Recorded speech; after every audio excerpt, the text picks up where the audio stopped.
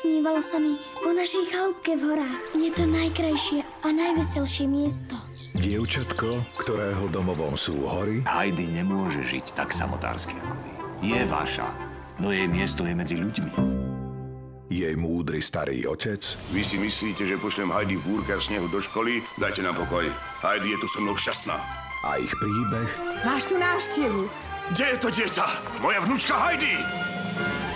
Ktorý poznajú celé generácie. S tebou mi je oveľa veselšie. Heidi má tú istú chorobu, akú mala Klára. A boli tu. Heidi. V sobotu popoludní na jednotke.